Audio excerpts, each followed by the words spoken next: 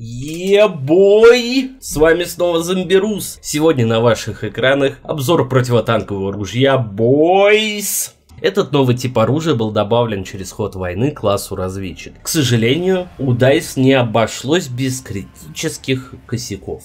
Во-первых, они сломали всю прокачку, включая прокачку Бойса. Я лично прокачивал его до четвертого уровня три раза. Благо, сегодня утром все исправили. Насчет компенсации по XP в ходе войны и стволов пока неизвестно. Возможно будет, а возможно нет. Второй косяк более критический, из-за чего данный обзор будет неполноценным. Бронебойно-подкалиберный снаряд для бойса не работает против танков и САУ. Урон просто-напросто не проходит. Единственное, что можно, это повредить привод башни, гусля или двигло, но при этом без урона. Как это работает, я не понимаю. Скорее всего, данный баг починят только в следующем патче, который следует ожидать в июне. Похожая ситуация, кстати, была с противотанковыми гранатами для тромбончина. Как открыть этого монстра? Тут все зависит от вашего везения. Это можно сделать за 15 минут, как я сделал вчера на стриме. А можно убить не один час. Первое задание заработать 1000 очков на технике с прицепленной пушкой. Просто идем на панзерштурм в захвате, садимся в технику, прицепляем пушку и захватываем 2-3 флага. Все вы выполнили это задание. А вот далее идут три задания, которые легко выполнить, но как долго вы будете это делать, зависит от удачи. Сначала идет задание повредить привод башни. Далее идет повредить двигло и последнее уничтожить технику. У меня получилось сделать это на одном танке. Некоторые люди в моем дискорде мучились 2 часа, потому что у них тупо стилили танки. Ну а далее после этих трех заданий идет легкотня захватить 3 флага в технике и финалочка заработать 3000 очков на технике. И ебой, бойс твой. Что такое противотанковое оружие Бойс? Это причина появления у вас пролежней легкого слабоумия, так как это адская ваншот машина, которая стреляет сошек. С одной стороны, очень круто, что DICE решили вернуть ваншот снайперки, которые могут работать по технике. Это не такой агрессивный ствол, как М95 из Bad Company 2, который был жуткой ваншот пушкой для коротких дистанций. Все же Дуси решили забалансить ваншоты, взяв за основу механику Танк Хантера из Battlefield 1.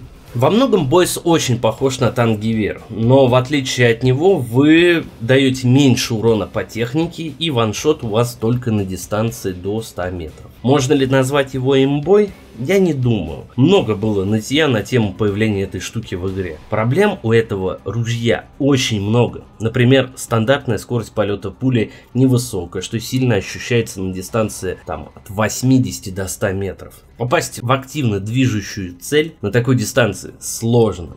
Вторая проблема – темп стрельбы. 22 по стандарту и 26 с улучшенным затвором. Он очень медленно стреляет. И если вы воюете против двух снайперов с обычными винтовками, то шансы на победу у вас практически нет. Они вас перестреляют. Третья проблема – это резкое падение урона. На дистанции до 100 метров вы сносите 100 хп. А на дистанции уже в 101 метр уже 85. Очень странное решение, где с классическое постепенное снижение урона с дистанции. И последняя проблема этой винтовки – очень ограниченное применение. Бойс отлично работает только в режиме прорыв оборона. Атаковать позиции противника с этой штукой нельзя, так как механика прицеливания схожа с классом ММГ, то есть прицельный режим доступен только на сошках, а в движении вы можете стрелять от бедра. Но скопы можно легко раздавать, но тут чистый рандом. Попадете, не попадете, зависит не от вас, а куда пуля полетит. Поэтому любые режимы, кроме обороны в прорыве, не дадут вам полностью раскрыть потенциал этой винтовки. Теперь немного про эффективность против техники. Бронебойно-подкалиберный в данный момент не работает.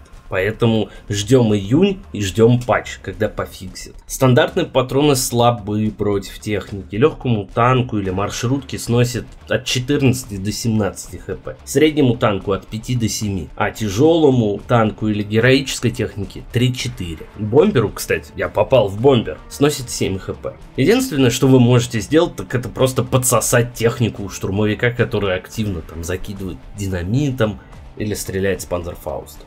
Характеристики. Урон максимальный 100 на дистанции до 100 метров. Минимальный урон 72 на дистанции от 200 метров. Темп стрельбы 22 или 26 выстрелов в минуту. Все зависит от того, выбрали специализацию на скорострельности или нет. Перезарядка полная займет 5 секунд, а тактическая 4,2. Пушка интересна только по двум причинам. Первое – возвращение ваншотов для снайперских винтовок. Конечно, я бы хотел бы возвращение механики ваншота из Battlefield 3 или Bad Company 2, когда ваншот есть только на короткой дистанции до 25 или 15 метров так как в таком случае винтовки не имбуют и требуют реального скилла для убийства противника. Потому что, ну, когда вы выходите со снайперской винтовкой против АЕКа, если вы промахнетесь, то вы сразу труп. Текущая механика, которая заставляет вас лежать и отстреливать противников в обороне пачками, это неправильное решение. Особенно при отсутствии 3D спота и не очень хорошей видимости, которую вроде как пофиксили, но на том же кряже противник все равно сливается с камнями.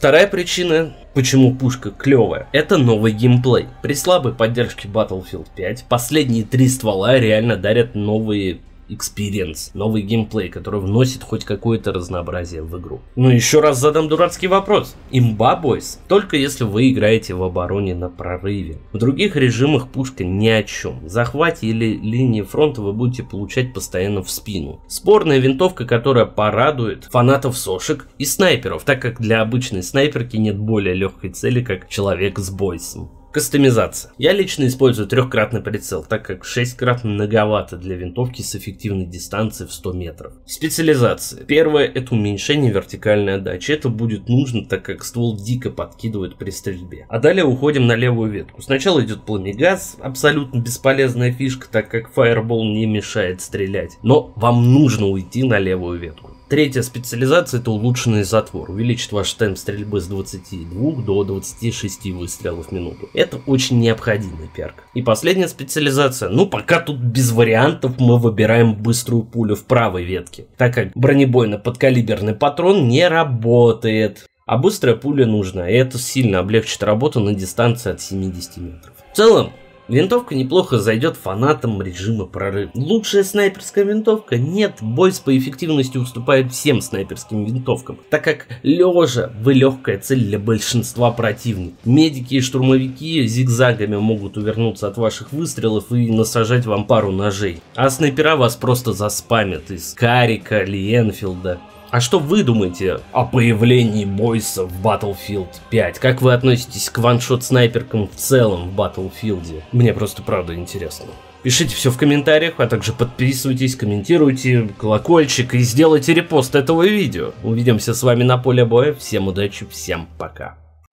Идут не своим годом после отсрочки. Так что ты сначала